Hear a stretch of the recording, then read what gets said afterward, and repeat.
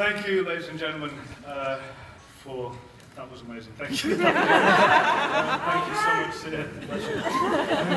I want to thank my fellow colleagues up here for welcoming myself, Montego, and Alex, and the other new members into this wonderful family. These last few days, as you've probably heard, have been um, quite distressing for us all, um, but also a chance to celebrate. Um, celebrate this unit that we have on stage between us all. Wonderful colleagues, glad to be aboard, thank you. And the, to celebrate the life of Kyle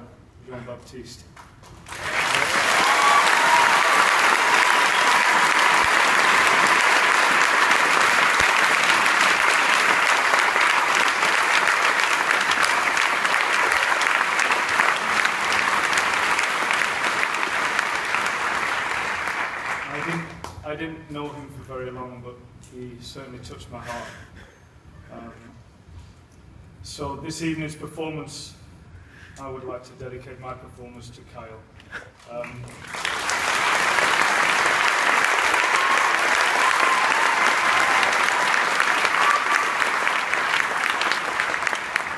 and at 10.15 outside the front of the theatre, we'll be dimming the lights um, for a couple of minutes just out of respect and in memory of him.